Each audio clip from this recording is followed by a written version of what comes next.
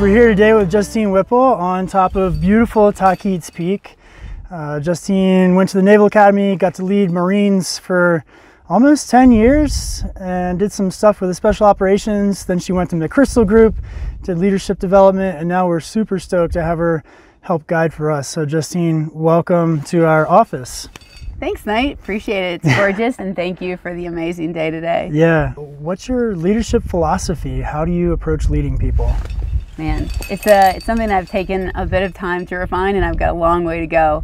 But uh, I'd say that for me, I always think about the golden rule first, which is always think about the way that I want to get treated. And um, if you use that as your steady point, then I can kind of guide off of that.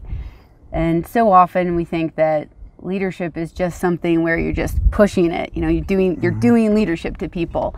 Um, but my leadership philosophy is so much of listening and learning from others to enable those it's harder to do than it is to say for sure. Um, but I think the experiential things like we're doing today, um, you learn about yourself, you learn about the people that you're around, uh, and then you know how people click. And everybody needs something different, and uh, and knowing and recognizing that is so super important. Awesome. So meeting people where they are and treating people like you'd want to be treated. It sounds simple and like you say, really, really hard. So what are your core values and how do those play into that philosophy? Core values. You know, I would say that it's a little bit generic, but trust is absolutely, you know, everything we do. If you can say there's other values about respect, which is super important as well, um, but building trust, which is something that you have to do through repetition and um, you have to do it through integrity. You need to do it through benevolency. Um, and you need to do it through action. Um, so I really believe that you know, I'm, I build trust by being reliable, or I build trust through transparency and honesty. And I screw up a lot of things, especially as a leader, and you're always on the front stage. But if you can't take those falls and, and go with it and learn from that, um, then you're not very authentic. And so for me, that piece of trust, building trust with the people that I'm working with and around, and then the authenticity is really the, the avenue and the vehicle that I take to, to build that trust because, um, you know, I, I know I have a lot of imperfections, and I know there's going to be things along the way that people, something that somebody's going to do that's going to frustrate me. I'm going to do something that isn't quite right.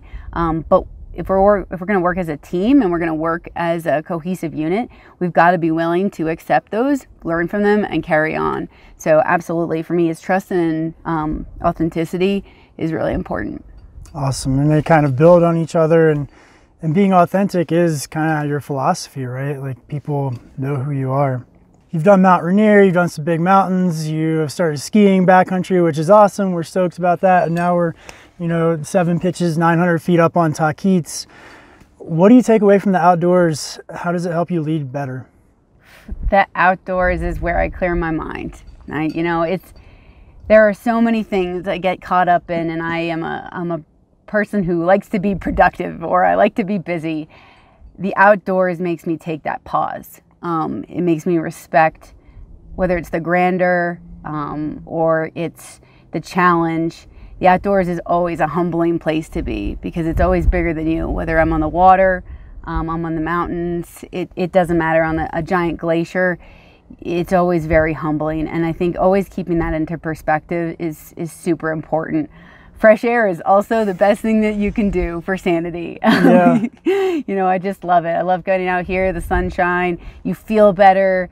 You interact better. You're just better to people. Um, all of those things. And those moments when your gut clenches up and you start feeling that adrenaline um, and you feel that nerves, you know, it feels so good on the back end because you know you've worked through something and you've accomplished something that you may, didn't know that you were going to be able to do. So. Yeah.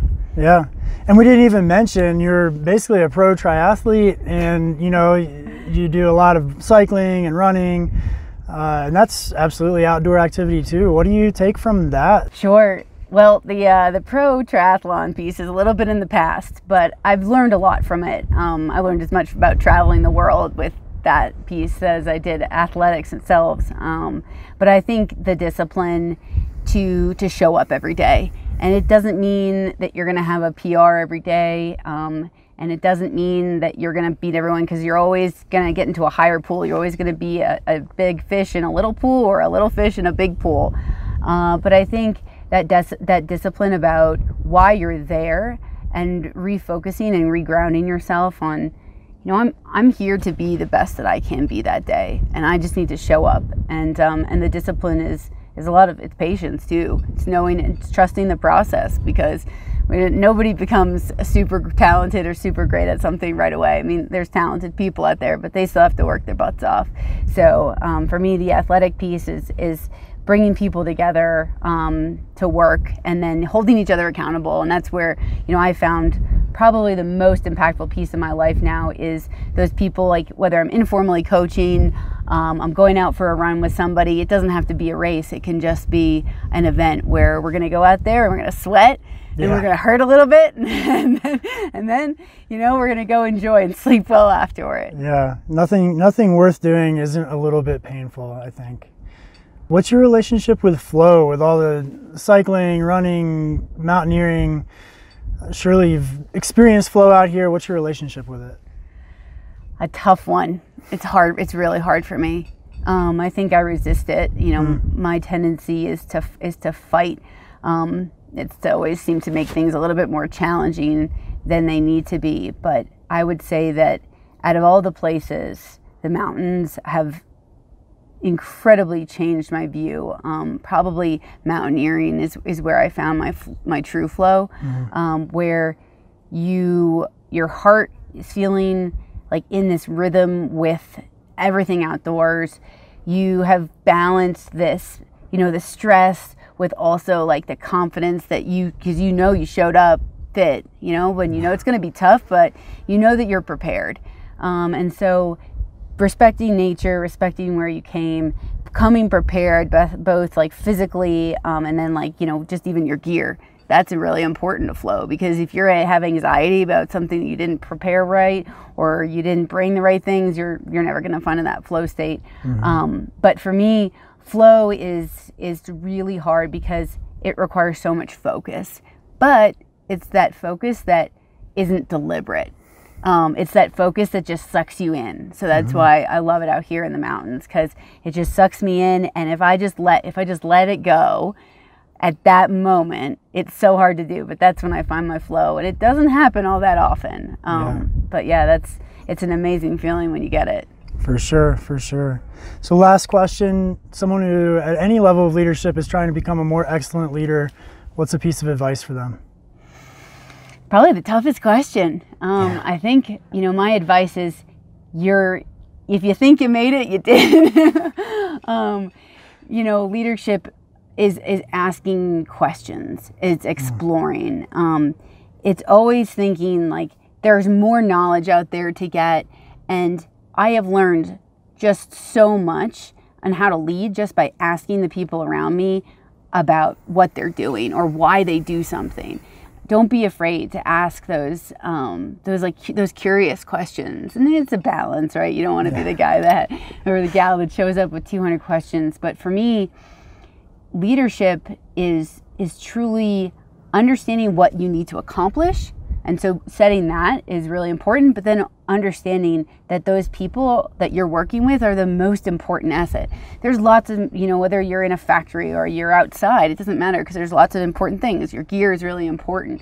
Um, you know, the process and mechanisms are really important. At the end of the day, like people matter. And when you get frustrated and you want to throw in the towel, um, that's the time to step back ask the questions. I bet you somebody has the answer, and it's just out there. Yeah. Um, so that's my, my, my small bit of advice for for anyone looking for it. Awesome, really good advice. Well, thank you so much for coming out and enjoying this day and doing an interview on top of Tahquitz. And uh, let's pick our way down this mountain. Awesome night. Thank you so much. This has been fantastic. Woo!